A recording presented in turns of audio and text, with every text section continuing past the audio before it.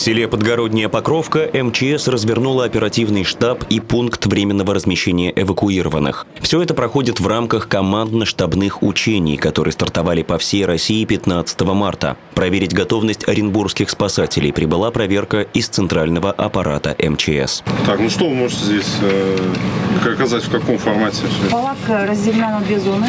Зона для оказания медицинской помощи нуждающимся и зона для оказания психологической помощи. Помимо развертывания на местности, сотрудники МЧС отработали спасательные мероприятия, которые могут возникнуть в ходе паводка. В Оренбуржье в этом году готовится к большой воде, так что такие учения ведомстве считают актуальными. По сценарию учений экстренным службам предстоит извлечь автомобиль, который оказался в зоне подтопления. Для этого развернута целая мобильная группа.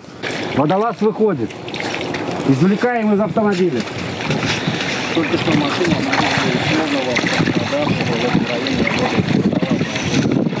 Помимо этого, сотрудники отработали ликвидацию разлива опасных веществ в реку. По нормативу, в случае такой аварии спасателям необходимо в течение четырех часов прибыть на место, развернуть боновые заграждения и приступить к ликвидации загрязнения. В результате половодья э, произошло э, опрокидывание нефтевоза.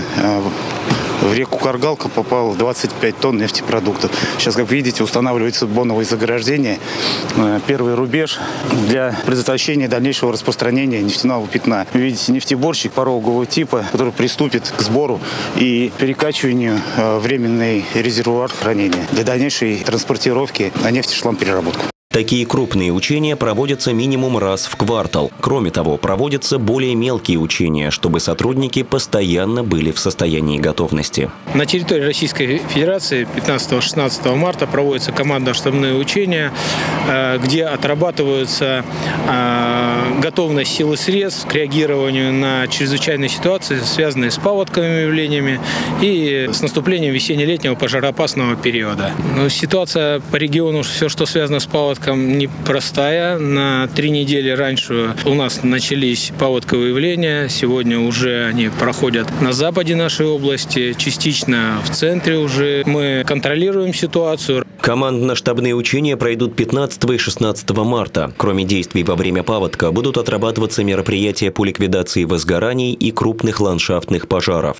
В учениях, помимо спасателей, участие примут экстренные службы, службы оповещения и операторы связи региона.